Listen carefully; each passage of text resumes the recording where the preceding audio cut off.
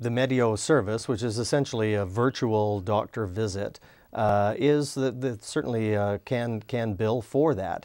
Uh, we are, and I've asked our ministry to take a close look at this because there are some huge opportunities for access and for convenience. I mean, let's face it, we do a lot of things at our desk or our home that before we had to get in our car and travel somewhere to do.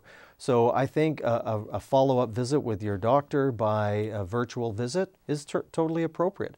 There's a concern, of course, I think, that, that uh, you will develop virtual walk-in clinics so that there isn't that continuity of care. We also need to make sure that there's privacy issues around the information that, that is transferred. So this again is sort of the leading edge of technology uh, interfacing with the healthcare system